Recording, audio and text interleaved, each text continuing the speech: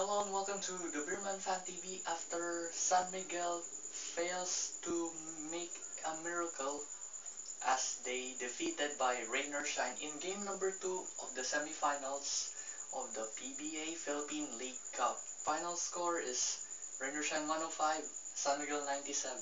What a close call by San Miguel Beerman. Just like in game 1, in 22 points, kayang-kaya niya. But in Rain or Shine's biggest lead from game 2 is 25. Hindi nila kaya dahil enough is enough. Mahirap sabihin nitong game na ito. Nakaka-dismaya. What a disappointment day for San Miguel. But don't worry, they have 3 games left to make it to the finals of the PBA Philippine Cup. Alex Cabagnot makes their good performance because he's scoring 20 plus points in this game but they fell short in the end. Habang si Ronald Tubid and Chris Ross mukhang delikado sa fouls pagdating sa fourth quarter. Kaya nga na technical foul sa sobrang dami-dami ng pinaghirapan kay Chris Ross, hindi niya kaya.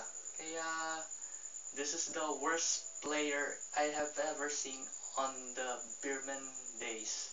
Kaya hindi okay sa akin kung i-field itong formation na may kasamang si Chris Ross. Kaya mahihirapan nitong game na ito sa mga susunod na laban.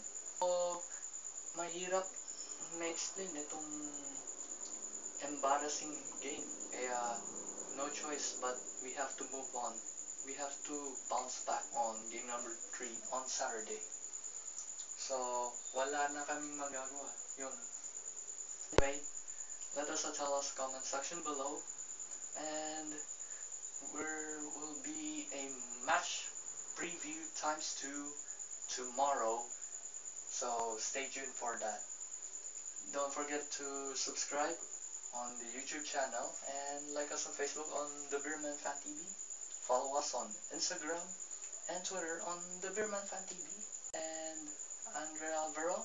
And we'll see you in the next video. Ciao. Bye.